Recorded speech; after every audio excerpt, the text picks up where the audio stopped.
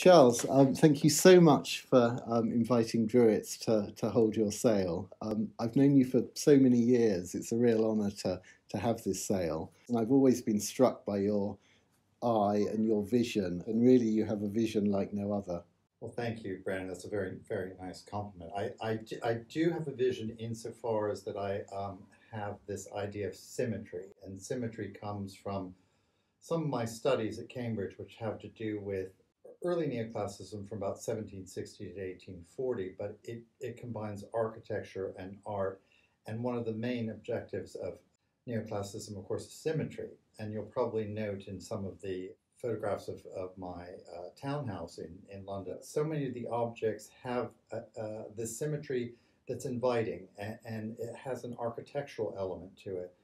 I um, studied architectural history, which led me on to becoming um, um, an art dealer uh, for the sheer fact that um, I couldn't get a job anywhere else or no one else would hire me um, in the museum world. So I decided to go on to becoming a dealer. This whole idea of the thrill of the chase, of the hunt for these magical drawings, um, has has been an inspiration for me and for my career. One has to remember that things are drawn first, uh, whether it's you know porcelain or curtains or interiors.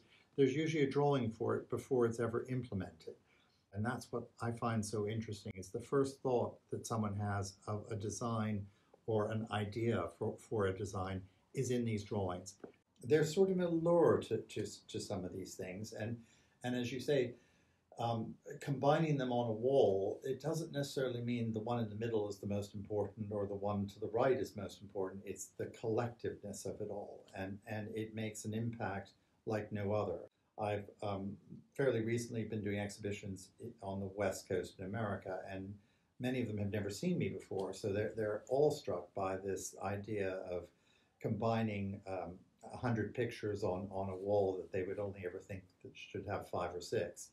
But that's it. It's that sense that you know. I remember you telling me that you know clients would come in and you know buy buy a whole wall and, and replicate that at home. And and I mean that's something that there's this opportunity with this sale to do.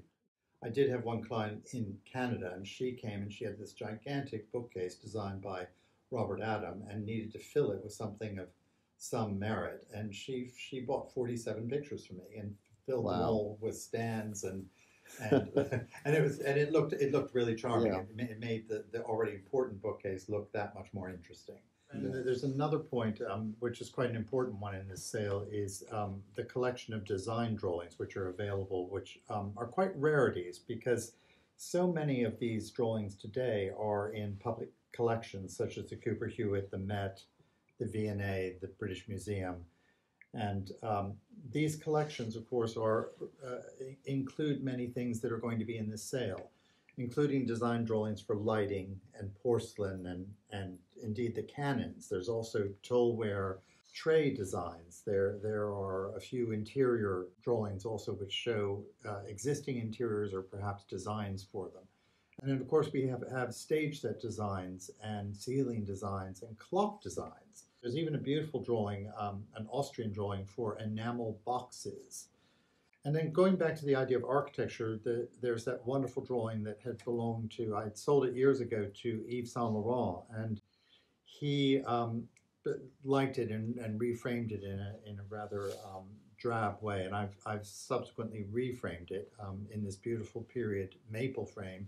It's of, of an Arc de Triomphe, and it's, um, it, it's a beautiful object. It's quite large for for for um, a drawing of that period too. Dreweatts has been um, very crafty and shrewd with their estimates. I think that they're um, going to be very attractive to people wanting to buy because I think they're lauded up in an interesting way that will make them very um, approachable and saleable and, and certainly buyable for for Dreweatts' clients and my own. I, I want to point out that you know, young dealers can do this today. They, they, can, they too can start with not necessarily a Louis Vuitton trunk, but could start with maybe a small watercolor or a small piece of porcelain and start building up um, an inventory, building up clients, building up um, relationships. Um, relationships not only with um, the dealers or the clients, but with the objects themselves. And those objects can become friends or sometimes perhaps enemies Um, but you get to enjoy them and you get to live with them for a short time and then then you sell them, which is essentially what I'm doing now. I think this this um, idea that you can you can buy them and perhaps even make some of these objects today from from from these drawings or how they were made in the past uh, sh- shows the sheer quality of the drawings and, and the future for us to collect.